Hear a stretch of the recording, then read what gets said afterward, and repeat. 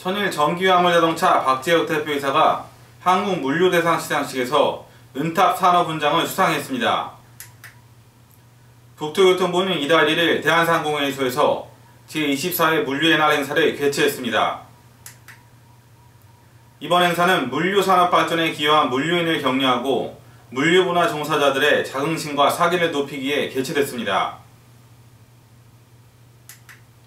행사에선 시상식을 비롯해 우수 녹색 물류 실천 기업 인증서 수여, 미래 물류 프롬 등 다채로운 행사가 열렸습니다.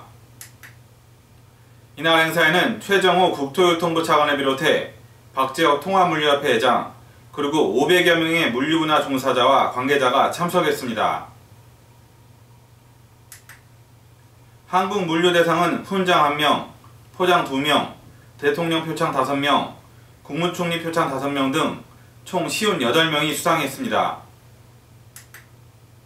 한편 온실가스 감축 활동이 우수한 현대 로지스틱스와 고려택배가 우수 녹색 물류 실천 기업으로 선정됐습니다. KSG 뉴스 배종환입니다.